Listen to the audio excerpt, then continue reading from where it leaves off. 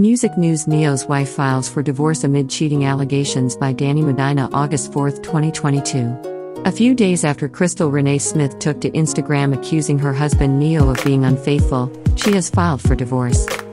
Smith is claiming Ne-Yo has fathered a child with another woman, according to TMZ. She filed this week in Atlanta and said their marriage is irretrievably broken with no hope for reconciliation. Crystal said they have been separated since July 22 and has been taking care of their three children since the split. In the filing, Smith has asked for primary physical custody and joint legal custody in addition to child support and alimony. This is the second time Smith files for divorce.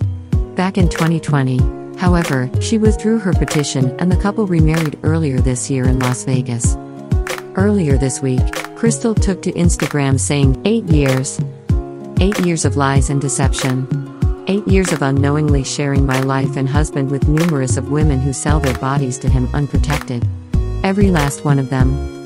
To say I'm heartbroken and disgusted is an understatement. To ask me to stay and accept it is absolutely insane. The mentality of a narcissist. I will no longer lie to the public or pretend that this is something it isn't.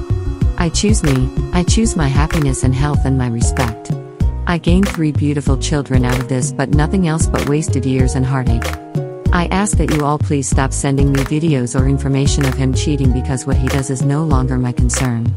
I am not a victim. I'm choosing to stand tall with my head held high. If someone can't love you the way you deserve, then it's up to you to love yourself.